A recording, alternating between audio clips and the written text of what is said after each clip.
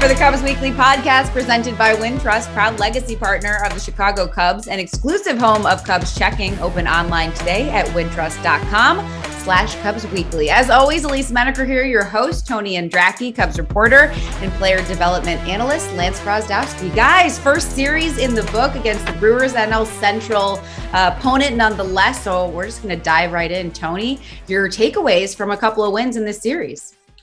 Yeah, I think the biggest takeaway, to be honest, was just how good they looked overall. I mean, you know, you're going up against the reigning Cy Young winner and Corbin Burnes, then obviously Brandon Woodruff and Freddie Peralta. I mean, I know these guys go back to back to back in the Brewers rotation, but it's not often that a team has to face those three in the first three games of a series or of a season.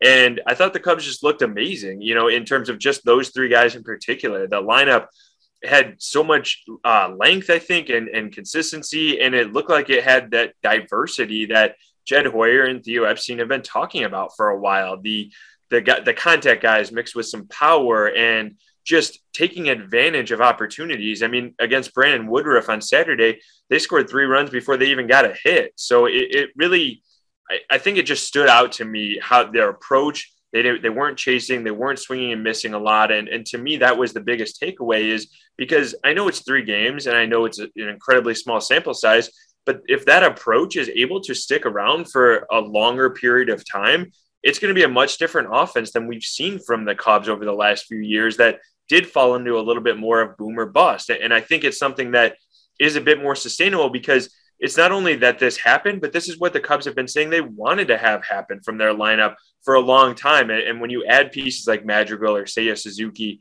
into the mix, now we're seeing that a little bit. So I thought that was my biggest takeaway is they just went out in the field and showed exactly what they've been trying to do. Won't always be that easy, but they were able to do it against three Cy Young caliber pitchers. Lance, what about you? I'm going to take the low hanging fruit and go Seiya Suzuki. I mean, the guy looks incredible. uh, I, I, was blown away by the approach. I think is the key thing that stands out in terms of his ability to already understand the strike zone, even if he hasn't seen any of the pitchers like Burnes and Woodruff or any guys that are even comparable to those guys over in Japan in terms of the velocity and the movement on those pitches. But I, it jumps out to me. I mean, I, will go as far as to say he seems like an easy all star bet right now if you really want to try to get ahead of ourselves. Where if he stays healthy and this continues, like he seems to be in that high 380s, 400 OBP. Like he had 38ish or however many home runs in Japan, but I, I, don't even think with as polished of an approach as he has at the plate that you need that much power to be a very, very plus offensive player. For me, it's like run into 20, 25 home runs, take the Peralta slider that kind of hangs up and hit it out every now and then but just get on base. Like I, think that's an incredibly underrated part of some players' games that maybe goes a little bit by the wayside as we've gotten into like the three true outcome approach where it's high K and high homer. But I, I think he's a guy that could be low K, high walk, high homer, or even average homer, and that's like a four to five WAR player. I'm I'm blown away by him.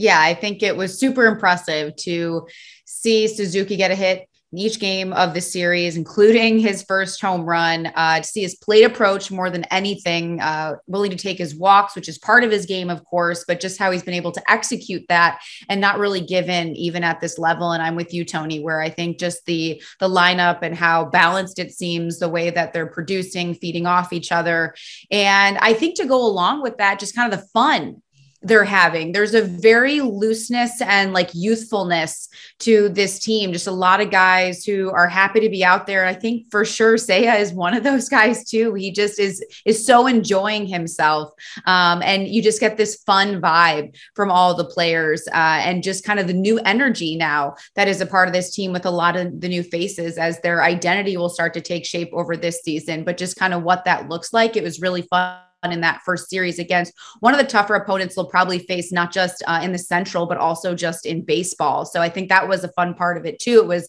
um, a real sense of while early, uh, okay, here's how they're doing against some of the best pitchers in baseball. And so far, it was a, a fun first look at a lot of their potential. Um, so, as much as um, in some ways, I guess you could say, I don't know if the lineup was surprising given the pieces and the potential there, but Lance, um, just maybe what did surprise you in those first few games? I was going to see Hoerner hit a home run. I, I, I think I always rag, I feel like I'm ragging him all the time in the office because he hasn't hit a home run in so long. Like the contact skills are so good with him, but he just doesn't barrel a lot of balls. So to see that very early in the season for me was a great plus. Like I think that anytime you get some of those barrels up front, barrel being ideal combination of exit velocity and launch angle, which produces some of the most uh, beneficial results as a hitter. To see that early on was huge, in my opinion. But even guys like Happ seems like some of the stuff that he adjusted in the final two months of last year um, are going to stick. Um, I, I, those two guys in particular, I even think like a Suzuki could jump up to the second spot in the lineup with those OBP skills. So I, I guess in my opinion, it's more a matter of like some of those guys that maybe were interspersed through the lineup rising to get more player appearances and potentially being up in higher leverage spots. That's a that's a key for me. Yeah, I think for me, um, you know, Suzuki definitely was a little bit of a surprise, but I think just overall, I was surprised by how the Brewers played. I wasn't expecting that level from them. I mean, they made some errors. There were some there were some plays that were maybe even you know borderline or controversial calls that were hit or error um, that ended up going even in the way of hits for the Cubs. But you know, I just I you know this is a team that won the division last year, has won over 90 games for a few years in a row. Like we talked about, you know, the three Cy Young starting pitchers out there, and and they made some mistakes. They were walking guys, they were hitting guys. Um, they were making mistakes in the field, you know, some base running mistakes in there, and the Cubs took advantage of all of that. And I think that was, you know, a pleasant surprise in the Cubs end because this is a team that when they were at their best, even a few years ago, they were taking advantage of mistakes. And we saw during their hot stretch in May of 2021 last year, they were also taking advantage of the opponent's mistakes a lot. And so I think that's just a big key in baseball. It's not something that is tangible that you can always necessarily work on, but the Cubs were able to maximize that. And I think that was a, a nice surprise overall that one, the Brewers made that many mistakes, but two, the Cubs were able to capitalize on all of them throughout this opening series. Yeah, I, I think you make a really good point because I was thinking about it too from the Cubs perspective. But as I was watching the series, I was actually surprised too. I was I was trying to figure it out and just kind of reminding myself that it's so early in in the season, obviously, that man, you know, you think these guys will come out really sharp and just be who they are. But um, yeah, it's just kind of that reminder there's a long way to go because you'd have to think um, what we saw out of the Brewers in the this first series is not what we would see consistently out of them. Um, so yeah, I think that um, with you too, Lance, uh, and the Nico Hoerner stuff, right? Yeah. I think you're all saying like if you had it on your bingo card that Nico Hoerner would have the first home run of the Major League season, you win. You're right. Yep. Um, and I think just for surprises in the first three games, I feel like um, I feel like you guys kind of just like summarized it because I was trying to think as as you were talking and if I had anything else to add and I feel like I had something off the top of my head right now. I lost it. How about how about the homegrown pitching for the shutout? I think that's another okay. thing. Maybe. Yeah, you saw some of these guys in AAA last year. I imagine at least. I believe. Yes. Right? Um. So I didn't see like I can't even remember. Let me go through now some of the guys who are in because now off the top of my head, Thompson, of course, I even saw mm-hmm. Ian Steele in in AAA, who we yep. know uh, Steele got the start. You know what? I think even that's who I was thinking too. Where I thought Steele was really impressive. I like Steele and Thompson back to back as well. Um, because I think obviously that's a focus this year for the Cubs and what all of us will be looking at is how this rotation kind of shapes out and pitching in general, um, just with how we're entering this season. But I think that was really exciting, promising, promising too, especially with Hendricks setting the tone. Hendricks was no surprise. That's not the surprise element there. Um, but yeah, I think that's a good point. Just all the arms, even that we'll see too coming out of the bullpen and how that could shape out.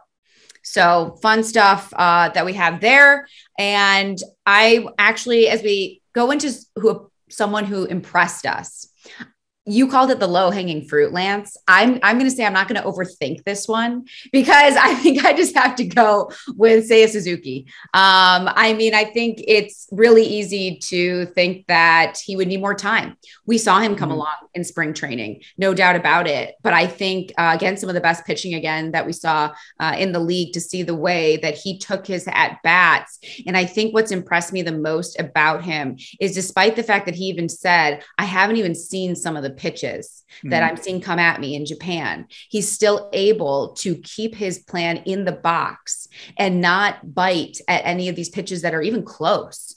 Um, so that I thought was really impressive. And I know he was most impressed, or at least he uh, really liked that he took a couple of walks there uh, in that first game, I think it was. So um, uh, that's, yeah, I think he's fun and impressive. What about you, Tony? Yeah, for sure. I mean, and the only strikeouts he had were looking because I mean, I think he swung and missed once, maybe total in the first three games, or maybe not even at all. But you know, he just wasn't chasing outside the zone. So certainly impressive. All the points you guys have brought up. I mean, all weekend I was impressed by Seiya, his approach, how he's able to be calm coming over, you know, and only having less than 20 plate appearances in spring in games before coming in and facing Burnes and Woodruff and Peralta and all of that. Mm. Uh, to me, you know, what stood out or what impressed me the most is what you touched on a little bit, at least, is Justin Steele. I mean, Kyle Hendricks is huge, and the Cubs need him at the beginning of the rotation. But it's also not necessarily a surprise because we've seen that before, especially in 2020 and and you know even before that. Steele to me could be an absolute game changer for this rotation, and he now has not given up a run in his last two starts dating back to last year. 12 innings, no runs, 12 strikeouts. I mean, he's able to get swing and misses. He's able to pitch through a bunch of righties in a row, you know, from the left side. He has some swing and miss stuff. He's working on different pitches. He even was talking at the end of spring training about how he's he's getting to the point where he feels comfortable. He wants to start doing some different uh, mechanics and and stuff like that, like Stroman is, where he has like a hitch in his delivery. So I mean, when a guy's talking like that, and this is only like his fourth start here of what would be normally like spring training, but he's doing it against a playoff type lineup in Milwaukee. I just thought that was impressive. I mean, he's he's a guy that like we talk about homegrown pitching and everything else. Like if this guy can can continue to ascend and be this young, you know, hard throwing guy from the left side in this rotation, it really it, just would go so far for this rotation when you have Hendricks and Stroman and however else it plays out with Smiley and so on. So Steele impressed me the most, and, and he's a guy that I'm definitely going to be watching as the season goes on. Lance, how about you? Me? Okay, I'm gonna go Hendricks. I know you said that it's not particularly surprising. There's a lot of anticipation around that. I wasn't sure. you got to keep everybody, you know, right on the edge of it's my job as the host, right? I'm trying. I got to keep you engaged. You got to keep this flowing, right? Okay, totally fine. Totally fine. I'll go. I'm gonna go Kyle Hendricks. You mentioned that it wasn't surprising he pitched well, but his last year was not particularly great. I think it's okay to say that if you look at some of the uh, the underlying metrics and everything. But the curious thing for me about last year was that it was really hard to drill into why he was bad. It wasn't really a command thing. We have some cool data from Inside Edge now to look at if a guy's actually hitting their target and whether that changes and fluctuates. And it didn't really look too different for him from 2019 to 2020 to 2021. The results were just bad. And, and we noticed that in starts. And for him to come out and pitch how he did, super heavily relying on the changeup but and the two kinds of changeups he throws too, especially depending on the hand he's facing. But I was really impressed with that. Like I, I think that there was a good probability that he just bounced back in that last year maybe was a little more of a blip than we thought. And I don't think projections were too kind to him. And looking at his season before this start, and afterwards, now I'm a little bit more confident saying that maybe 2019 ish is more of what we're going to see than 2021 you know, so I always get worried with guys who are a little bit older and maybe they fall off. And when they fall off, it's, it's, usually not as linear. It's not like they're stepping down ever so slightly every year. It's usually like a what happened, you know? And I was worried we were running into that last year. And I just don't think we're there yet. So hopefully it's another good year of Hendricks.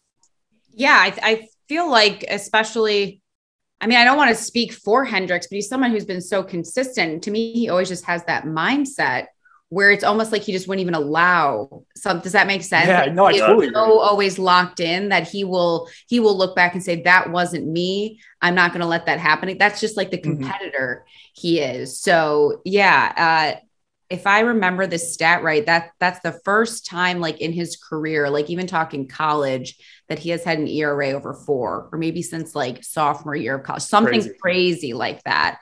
Um, I was doing that off the top of my head, so I may not have it exactly, but it's something along those lines, just to give you an idea of how uh, it is such a rarity what we saw, um, even just in the the final stretch for Hendricks, because early on had some good starts. Um, when we look at then like storylines or trends, things we want to pay attention to over the next few weeks, uh, curious Tony or Lance, we'll start with you because Tony, I just did last time. So Lance, mm-hmm. going to you. um, storyline, anything that uh, you're thinking about moving forward? Yeah, I want to see how some of this outfield depth shapes shapes out. I, I think we've seen like a mix of playing time and a mix of at bats, and I, I, think to get a, a, representative sample of how Frazier and Ortega and Hayward in particular and other guys look, we're going to need a little bit more time. So I think that's the narrative over the next like two weeks as they go to Pittsburgh, Colorado, and then back home to face Tampa Bay. Um, I think the Tampa Bay series is going to be really interesting. They're a fun team to watch, even though I don't think anyone will know any player on their team just because they're a bunch of random players. But uh, but yeah, I, I think that that for me is the key. Is just how do the outfielders look, particularly on the offensive side of the ball? Like how does Ortega look? Uh, Frazier, I thought had some pretty good hard hit balls. I think that's going to be pretty predictive. But um, the mix of the outfielders is big. We have David Brennen Davis looming in AAA as well, and it's like something's got to drop at some point, right? You can't carry six outfielders for long, especially if they, uh, as the as the at the end of the month, as the roster contracts by two spots. I, I'm very curious to see how it shakes out and what the bench looks like. Yeah, you know, I, I'm with you, Lance. I do think that's really fascinating, and that you know, I, like you said, at the end of April, roster going from 28 to 22, or sorry, 26 is certainly going to be interesting. For me, it's lineup construction, and it's something you touched on, Lance, a little bit ago too. Just I, I, think it's fascinating how Ross is going to slot these guys in because with Seiya's on base skills that we've touched on already, I could see him being in the two hole. And especially when you talk about like protection and how that factors in, you know, we saw Frank Schwindel have a lot of success in the two hole last year because he had Ian Happ, who was red hot right behind him, Willson Contreras, and Patrick Wisdom right after that. So yeah, you know, how this all plays out, you know, where guys are hitting. Like Patrick Wisdom has been hitting eighth for the first couple games. I know it's against tough righties that he doesn't necessarily match up great against, but, you know, this is a guy who set the Cubs rookie home run record. Like, where does he slot in? You know, Nico, uh, we know his contact ability, but he also has incredible numbers with runners in scoring position, even with two outs. So, like, does he hit higher up than ninth? So, I know it doesn't necessarily matter overall in the grand scheme of things, but I do think it'll be really interesting just to see how this plays out. If a guy like Suzuki will ascend, you know, how Schwindel bats in there. And really, just if, if you look at it overall, the length of this lineup seems like it's going to be a strength from day to day here because of depth. You know, injuries obviously withstanding, but you know, a guy like Madrigal can, can hit wherever, Happ and Contreras as well. So that's something that I think um, will play for me as well. And, and then also against lefties, you know, Ortega is not going to be in there, you'd figure, against lefties, but against right-handed pitchers, like he looks great he, as, in the leadoff spot, just like he did at the end of last year. So that's what I'm going to be keeping an eye on most, I think, is how Ross slots those guys one through nine with the DH here too.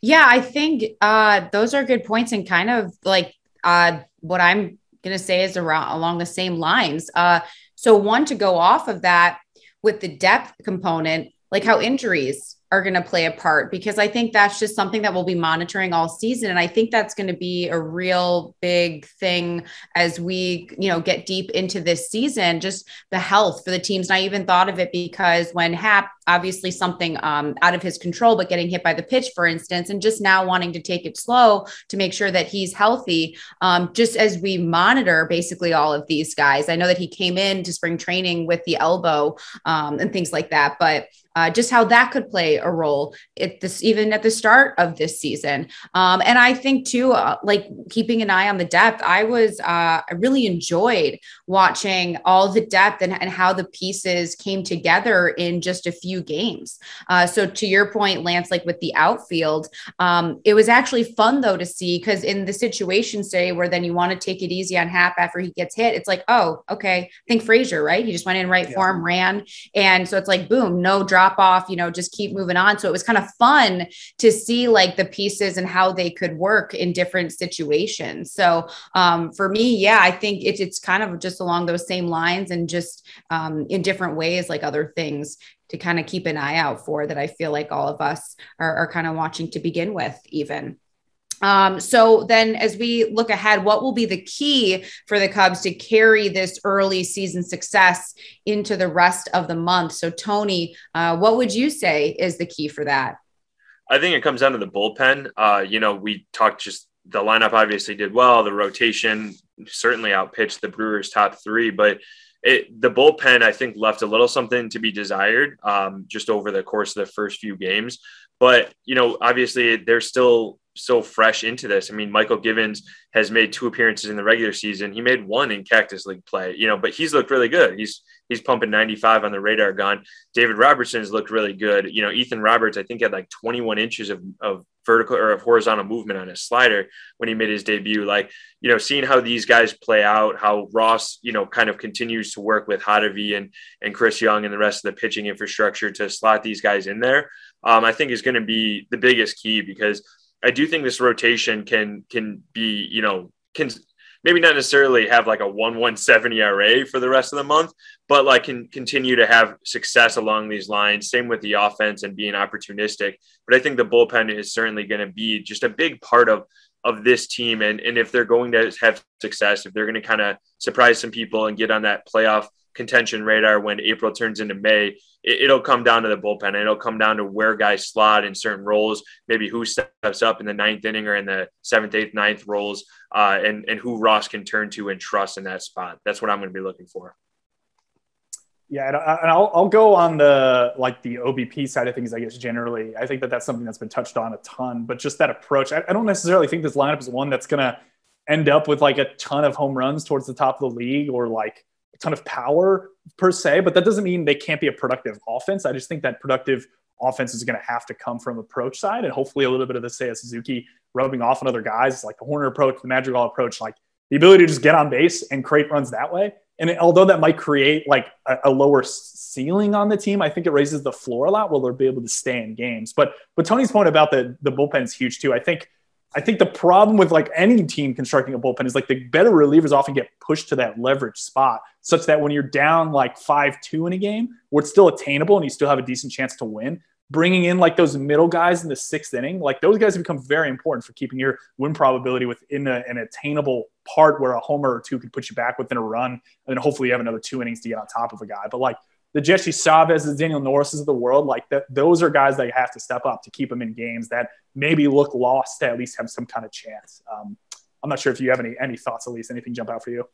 I think for both of those factors, it's almost like so you get a series win against the Brewers, right? So you want to you're thinking like, well, there's some success there against a good team. So it would be let's let's continue that recipe moving mm-hmm. forward. And in part, I think that recipe was the contact bats, um, not trying to do too much at the plate. And I think that's actually um, what's going to make this team successful moving forward is um, yes it's the makeup of these hitters at the plate um, but there seems to be a looseness to them and i it stuck out to me what Seiya said um, after i think it was his first game um, i'm i was just able to be myself at the plate. And whenever a player says that, it, it's always interesting to me because that's the whole point of what David Ross is always talking about. He says, My number one thing as a manager is I want all these players to just be themselves, whatever that means. And so when you hear players just saying that kind of on their own, you start to see things kind of at play here and working. And I think in part, then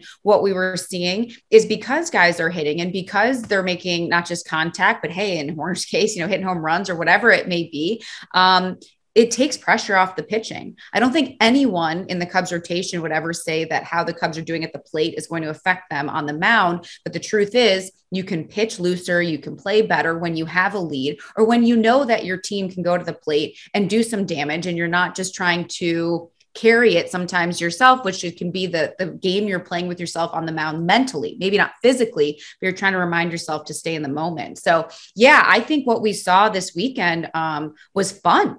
And I, you know, it's like there's nothing really want to change. Now you just want to see the consistency, which is the whole point of this game, being able to kind of repeat those results and do it over and over again. So I'm with you guys. I think there was um, a lot of, of good things that we saw even in the first few games that would be exciting um, just to see that day in and day out. So on that note, we've talked about this Cubs team, what we saw in the first few games. Uh, and we also, of course, when we have Lance here, we're going to talk about some prospects. So after this commercial break, Lance has ranked the Cubs' top prospects. We're going to kind of go through his list and grill him on his choices. So don't go anywhere. We'll be back after this. At Wintrust, we know true fans show their team pride every chance they get. With Cubs checking, you'll score a Cubs debit card, so you can show your support every time you pay. Open today at wintrust.com slash Cubs Weekly. $100 required to open. Member FDIC back here on the Cubs Weekly podcast to talk about now the Cubs top prospects. And Lance, that is where we turn to you because you've actually put together your list. It's something you did last year. I imagine you would even maybe tweak it. I don't want to assume anything, but it's something I know you monitor at least throughout the entire season and how guys go up and down. So, first, just give me a sense of going through this process again of the start of the season. Yeah, I feel like this one is almost setting up my next one to some extent because I have a little bit of a look inside under the behind the curtain. I think is the phrase with some of the data, especially on the minor league side, is that I, that does drive a lot of my decision making processes around these. But we had a full year of data in 2021, and now I'm really interested to see the first two months of 2022, and then do a midseason update and really grill into some of these substantial objective changes that these guys made, whether it be on how much harder they're hitting the ball, if they change different shapes, if they have a higher velocity. And I think that gets back to a really good point around like, I think every player development system within an organization is trying to figure out what their edge is. And I, I imagine every team is asking themselves this question. And I imagine the teams are not telling you what it is. So you have to kind of make inferences off it. And the more I've been around individuals in the organization, my guess right now is that it's based off high performance. I think they have a really, really sound system starting prior to 2020 when they brought in Adam Beard and now with Corey Kennedy. He was used to work with Olympic athletes in Canada. They've brought in a system where they can objectively measure things understand if the variables they're tweaking actually produce consistent outcomes, and then are able to make actual substantial changes on guys who come out of high school maybe with underdeveloped bodies like a DJ Herz or a Tyler Schlaffer. Like those guys have jumped up, their velos have jumped up, and it's it's systematic change that they can continually apply to guys to obtain results, expected results. And I, I think that's huge for them as an organization. Um, I don't know if they'd agree with me, but that is the kind of inference I've made, especially with all the velo jumps I've seen and stuff. It's just I think this is something where it might take a year or two to actually notice, but I, am trying to maybe try to stay ahead of the curve and say is this such that in two years everyone's like, yeah, all these guys are going through velo changes and like they've all been pretty positive and workload management is great and I wonder why. And it's like, oh yeah, back in 2020 they did this on their high performance staff. So that's kind of my high level takeaway, I'd say yeah, it was an opportunity to that 20. I've talked to a few of the guys where that 2020 was a real big opportunity for them to work on things, mm. whether they're with the outside or not. It just gave them time that they yeah. don't normally have. Um, so uh, as we look at your list, now the full list we can see at marqueesportsnetwork.com. So you can really dive into it there. We're going to kind of dive into some parts of it. And my first question, Tony and I are, we're, we're the ones, we're going to both do the grilling. So oh, yeah. my first question is when I look at your list and I, I compare it, say, so there's the, uh, like you have the MLB.com list sure. if you want there, whatever, and your list. When you compare them, there's a lot of similarities. What stuck out hmm. to me about your list by comparison, you are all in on the Cubs outfielders. I'm not saying that's wrong or a bad thing, but sure. they're the top four at the uh, top of your list. So you have Davis, Pete Crow Armstrong, Kevin Alcantara, and Owen Caissie Just in comparison to people are wondering, like on the another list, there's Brennen Davis, Christian Hernandez, James Triantos, and Caleb Killian, all guys that you have on your mm-hmm. list, just different spots. So I'm just curious. Um, all these players, no question, their talent. The reason they rank in that order for you is because yeah, I think it, it goes down to an individual basis. I think everybody has Brennen Davis one. Um, sure. I had yes. Brennen Davis one yeah. prior to 2021 when other people kind of were playing with Brailyn Marquez at there. And like, I thought it was pretty clear from the individuals I talked to, Davis was one. So that that's probably an, an understandable rank. PCA being two for me heavily relies on the defense. I think a good way to think about how I rank these guys is to look at like a, a probability curve of like where they may end up. And like some of those curves are very, very tall where there isn't too much of a range of possibility but there's a good concentration in the middle of like we expect this guy to do this but maybe there's not too much movement off that. Whereas another guy who's really young they have a massive probability where it's very wide where there's a chance he just never plays in the major leagues and there's a chance he's a perennial all-star. And with Pico Armstrong I think he has a very you know concentrated probability and it's and to, to, the respect that I think the floor is kind of high despite him being very young because of his defense. I think his defense is one of the most tangibly elite skills in the system. When you watch him, you can tell it is different based on how he moves. I think this goes for anybody, not even a scout. I think I mentioned the blurb I wrote about him where it's like, you know, scouting is very difficult. It's based off of thousands of looks at thousands of players and like the nuances as to why one guy might make it are different than others. And with PCA, I think everyone can notice how good he is as a defender. I think he'll stick in center field. I think he'll be a perennial gold glover. And then for me, it's a matter of figuring out the offense. If he gets the league average OBP, it's a profile that's perennially underrated every year. It may not pop when he goes up on the video board and you see his slash line, but the fact that he's an incredible defender and he, will be able to post in that like three four war window perennially in my opinion. And i love that they've tinkered with his swing. I think that that's something that you know it's going to take some time for him to adjust off. It i know some of the spring looks weren't too great around how exactly he looked at the plate but I, he's completely changed how he's swinging. And i don't think that's something that immediately clicks for a guy so I, that's my opinion on him. I, I, don't know if there's anyone else in the industry that has him too. I think there might be some other nicheites that do, but some of the main ones they, they do have him a little bit lower, maybe because they're kind of pushing down the offensive profile. Whereas I kind of see it as more of like just get the league average OBP and be a good defender, and I think he's number sure. two in the system. Alcantara has a ton of upside, super lanky guy. There's not a lot of comps around him. I, I think I kind of like like a Jose Martinez comp because of the size and some of the mannerisms and his swing. But the batted ball profile is much better than Jose Martinez's. Like I think there's a ton of projectability there and the power as well as the contact side of things. And I think that goes for Owen Caissie as well, where he's another guy where, uh, uh, despite his age, he's hit at every level. We saw him, I think, get a couple extra base hits in spring training. Um, the exit velocities on him are really good. Uh, he's an odd combination where he doesn't chase out of the zone too much, doesn't swing and miss a lot. He has a ton of power, yet the contact rate's kind of low. So I think that's kind of lowish hanging fruit where if they're able to figure out what's wrong with that, some of the contact in the zone and that comes up and it, and it comes as a product of not having to swing and chase and really change his approach much. The, the sky's the limit there where I think that he's a pretty sure bet to be like a 260, 30-ish homer guy. Um, and maybe that's more of like a tail outcome, something that's maybe not totally likely, especially given his age. But I see that as a real possibility. Um, whereas maybe I don't see that too much with some of the other guys. But I will say, like as a whole, one through nine on this, maybe with the exception of Brennen Davis being a little bit higher, let's say like two through nine is kind of one tier. So the differences between say two and three, three and four, four and five aren't as big as say between nine and ten, where I see a bit of a tier drop off. So it's not like you're going down steps, so to speak, on this list. It's a little bit more like it's it's staggered in terms of where these guys are placed. So I don't see too much of like a future value difference between PCA, Alcantara, and Caissie, especially given their age. I just really like those guys. I, I just I guess I landed on them from that perspective, of just enjoying their profiles more. Yeah, you know, I, am definitely looking forward to to seeing PCA play the outfield more. I, I got just a little taste of it in, in spring when he was out there. He made that really nice catch. Um, he almost made, you know, mm. a, had a home run robbery that I know Scott Shagnon was right there for photos on.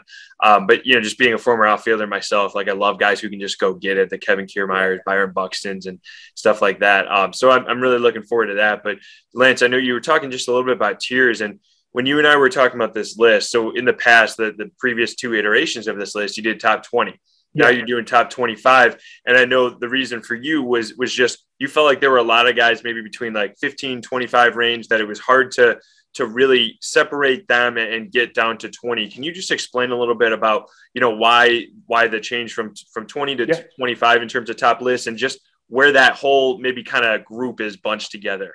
Yeah yeah. I, I think that adding the extra five just even if i'm saying that the steps are not the same like someone reading the list might think they're the same, such that when you get to 20, you're like, wow, there's like five guys, six guys that I know about as a Cubs fan. You know, like like a Brailyn Marquez who I have a 21, or a Palencia who's in the uh, in a trade, um, and I forgot who for at this moment, which is not Chafin. There we go. It's Chafin from the A's. I knew it was the A's. I forgot who they traded, but and even like a Piñango or like some of the um, some of the high leverage relievers. I always like leaving that last spot for like any reliever you think could be leverage. Like I think people know who these guys are, such that if you go to 20 and cut it off there, I think there's would be a lot of I feel like I'm almost protecting myself to some extent where people would be like, "How is he on the list? How is he on the list?" So we add five more. so you just extend to the depth. Yeah, exactly. Like, right? I like it. Smart. Not you, Lance. sneaky, sneaky. But no, I, I, really do think it's a testament to the depth in the system. It's just there's a lot of guys between, let's say, like 15 to 30 ish. Like I had, I emailed you guys before this, the guys who just missed, and I I wrote four names down, and then I was like, I think there's probably more. And I went back and I saw, and I was like, oh, there's like four more guys here that I like was thinking about in that 20 to 25 window. So even now, there's still more of a drop off. But again, this is a testament. Uh, the depth in player development is a testament to what the Cubs are doing in terms of the overhauls they've made with Breslow coming in, the high performance stuff I talked about. Which I, I don't know if I'm going to jump out to 30 next year. I'll keep it at 25, but like we may have to do more. yeah, the just miss list might be a little long. My that might extend every year. There we go. Uh, well, it's interesting that you bring that up because one of the guys who uh, I was looking at, who we got to look at in spring training, who proved to be very athletic, was Chase Strumpf, and that's mm. just one of the guys. I know you said there's a few, and and so kind of I'll, I'll kind of clump that comment into my question, which is uh, you had even mentioned, especially that two through nine, two through 10, or two through nine, you'd said, because that was yeah. just kind of um, like the next tier with that said, how difficult then was it to do like the rankings and to figure all this out, especially since you uh, have been very, you've been able to see these guys, yeah. uh, be, uh, talk to them a lot, all of that. Yeah, yeah. I definitely try not to bias myself by too much of what I see because, like, I know I'm not as trained as a scout, and I think that that's like something you realize over time. It's just like those scouts see so much that I value their input a lot. And again, getting a peek behind the curtain with some of the data, it does help me kind of like get a different perspective on guys. Where if maybe I saw him in a really small sample and wasn't impressed, you know, if he has a much larger sample of really good performance from the prior year, I'm able to see that in the data. I think that's the most valuable thing. This happened with a guy like Piñango for me, where, and even Christian uh, Franklin actually is another one where, you know, comes out of D1, uh, really advanced bat, but I just didn't see him great when I was in Myrtle Beach. Like, I just didn't think he played particularly well. And that's not a knock on him at all. I think he was just acclimating to being jumping around through the College World Series and you know coming to pro ball. Like there's transition periods for guys such that when I see him for three games and he goes, you know, over whatever with a couple walks, I'm like, okay, I just didn't see any batted balls. So how am I supposed to make an assessment on this guy? So I like going back to the data in that perspective of like, okay, now it's the end of the year. There's a much larger sample than I saw. Where is this guy looking in terms of how hard he's hitting the ball, etc? So I, for me, that's kind of how I'd say I approach it. Um, and again, like a Strumpf, Strumpf's a good player. Like I, I, think that there's some kind of major league role there for him because it's a, it's an interesting combination of good third base defense along with a decent bat. And I don't think he whiffs a ton either, which is maybe something that can drive up the OBP and push him into a role. There's just there's a lot of guys like him. I think where there's an advanced college bat and maybe there's the ceiling isn't crazy high, such that I tend to maybe lean towards like a Piñango where I think the ceiling might be a little higher. Drew Gray, I love on the pitching side, even though he just went down with TJ, uh, Tommy John surgery and such. So so it's tough. Like, yeah, I guess I guess you could almost say like Strumpf could have been in Christian Franklin's spot. I just like what I saw in terms of Franklin's data a little more. I think um, that's kind of my answer. I'd say. Okay. Lance, as you, I know you're always like thinking about this, and you know, you and I have talked just a bunch just about the rankings over the last calendar yeah. year plus. But as you were sitting down to do this, as you were, you know, putting pen to paper or whatever, typing it out like one through twenty-five, were you surprised? Were you surprised, like, hey, I, you know, I I did wasn't expecting to have um, Jordan Wicks five or whatever it is? Like, what surprised you as you were going through the rankings?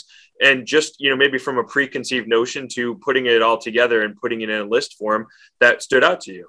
Yeah, I think for me, it was going through like the 10 through 25, writing them up and like putting more aggressive language in some of the projection. Like that, that's where I think maybe a lot of the value comes from, where it's like you're looking through an Alexander Vizcaino and like I see him as like a secondaries based guy. So I, I, don't think particularly his fastball is great, which is again not a knock on him. It's just his other secondaries are really good. Good change, good slider. I think they're going to tinker with some of his breaking balls in terms of how their shapes look right now. Like he, I was thinking like, okay, if they do anything to his fastball to correct it, like then you have a guy who's plus fastball with great secondaries. It's just like, can I assume that the fastball is going to get substantially better?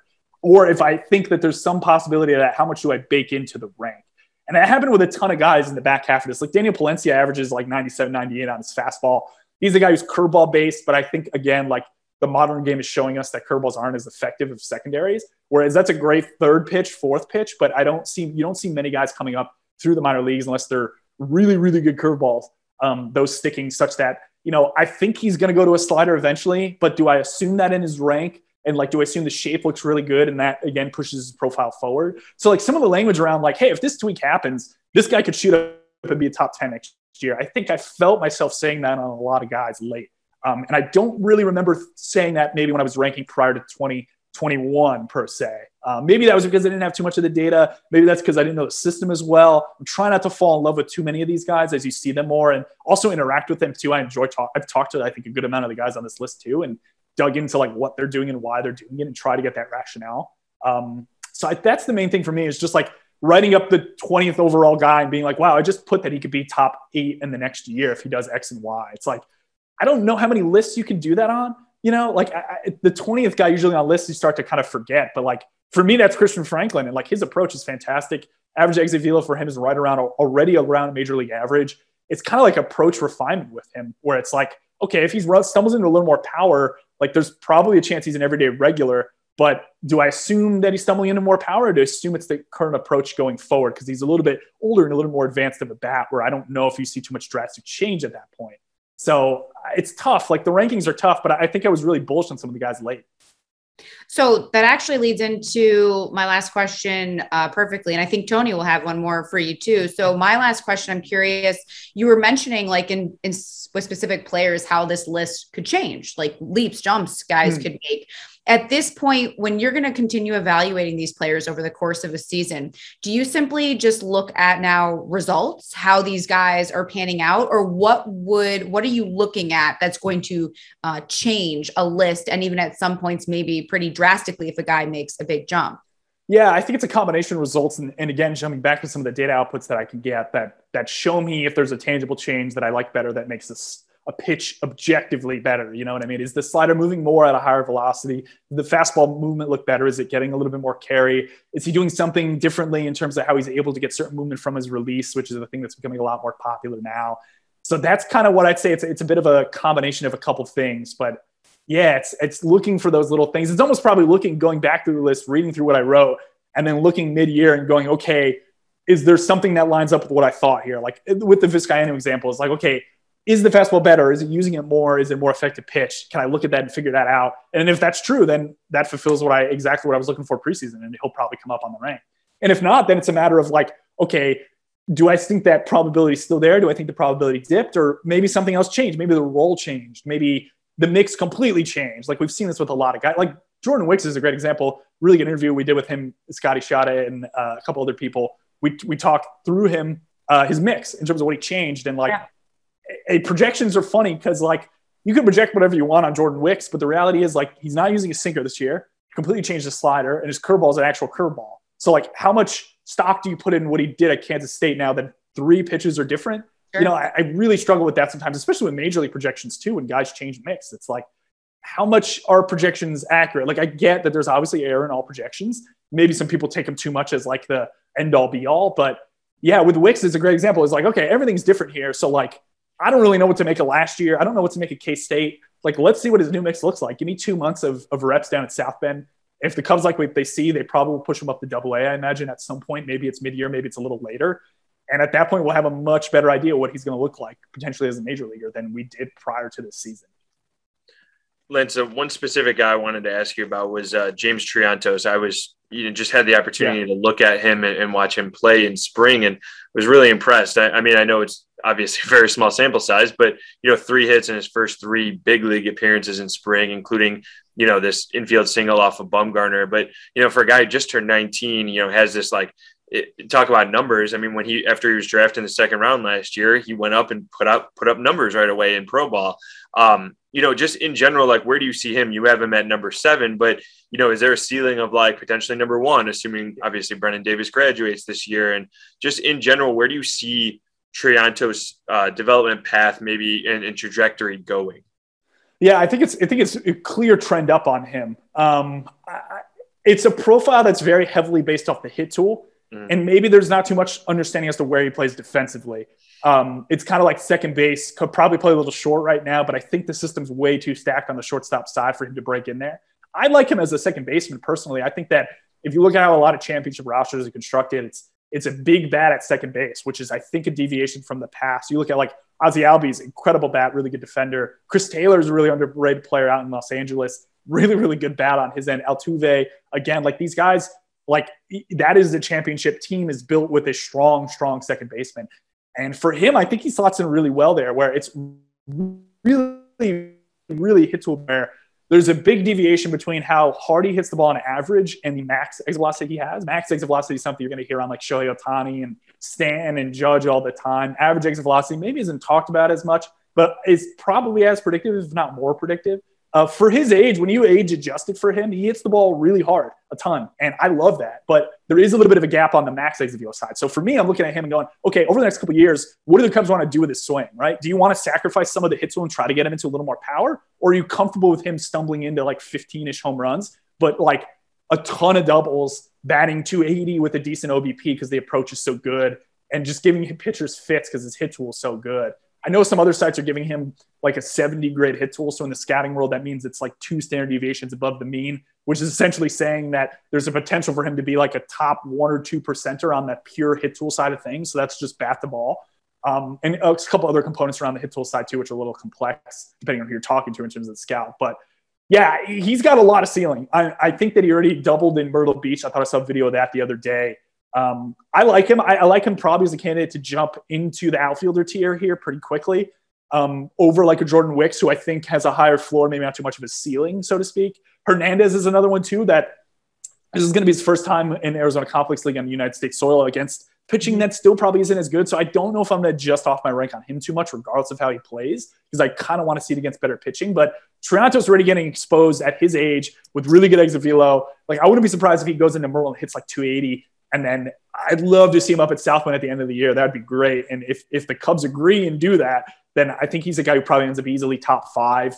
Um, to push off PCA at two for him, or potentially go to one. Say say Davis graduates, and you just move everybody else up on my list it's something when you'd really have to see PCA struggle on the offensive side, which I don't think I see happening for the entirety of the year. Um, so maybe I'd say highest probability Brennen graduates, PCA's one, and I'll go Triantos two or three. Um, and it'll be a tough time to see between Alcantara, Caissie, PCA, and, and, and uh, Triantos, who I like there. Like that's going to be a tough. That's going to rely heavily on like has anything drastically changed in 2022? You know, what's standing out? What are the results, et cetera, et cetera. But Triantos is great. I think he's got a ton of helium. Uh, it's Lance spends a ton of time on this stuff. You do a great job. Thank you. And so I think I was looking at your list. I think in our conversation, we were able to kind of uh, really talk about at least the first seven of the mm-hmm. prospects you have ranked, but the whole list again is on marqueesportsnetwork.com. So you can check it out there. You have full descriptions. You've really uh, just gone in really in depth with everything, and it's it's impressive work, Lance. So we appreciate it, and we appreciate you coming on to talk about it because um, obviously uh, you just yeah have have a, a, good sense of what is going on through the system. So it's always fun to talk to you about it too. You for that reason. Uh, I think on that note, that's going to wrap things up, guys. So that was a, a, fun talk today. So that'll do it for this edition of the Cubs Weekly podcast presented by Wintrust. Don't forget to download and subscribe to the pod on Spotify or Apple Podcasts, and check us out in video form on the Marquee Sports Network app and YouTube. For Tony Andracki, Lance Brozdowski, I'm Elise Menaker. As always, thank you for watching.